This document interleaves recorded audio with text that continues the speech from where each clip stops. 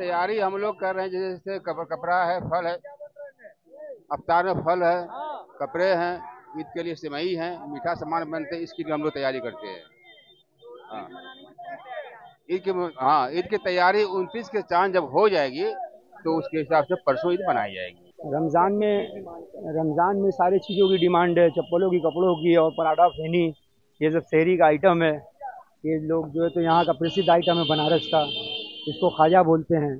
सारे बनारस बनारस क्या और पूरे उत्तर प्रदेश ऑल हर जगह पे जो तो मशहूर है ये आइटम हाँ। मार्केट तो यहाँ सब सब जो है तो मार्केट परफेक्ट है यहाँ पे। और बाज़ार में रौनक देख ही रहे हैं। अब कल चाँद की उम्मीद है। इंशाल्लाह अगर कल नहीं हुआ तो परसों तो चाँद होना ही है।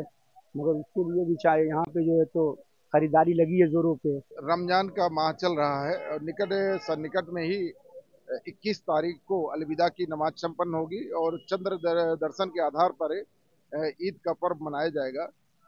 इसी दृष्टिकोण उसको दृष्टि रखते हुए लोगों में सुरक्षा का एहसास कराने विशेष रूप से जब कतरे और जो पॉकेट मार होते हैं, चेन स्नेचर्स होते हैं उन पर जो है दृष्टि रखने और लोगों में सुरक्षा का एहसास कराने हेतु ये जो है रूट मार्च किया गया।